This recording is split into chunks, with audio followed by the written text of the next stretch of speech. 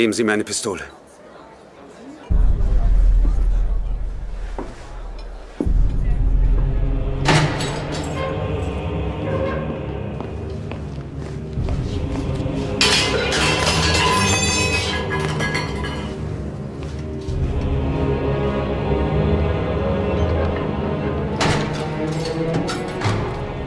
Ich weiß, dass Sie es für Verrat halten. Aber Stabschef Röhm hat ein Attentat auf mich geplant. Ich hatte keine Wahl.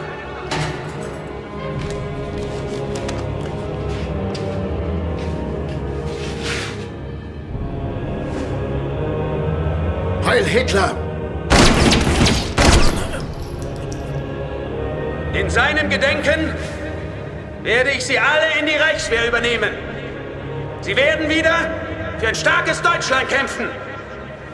金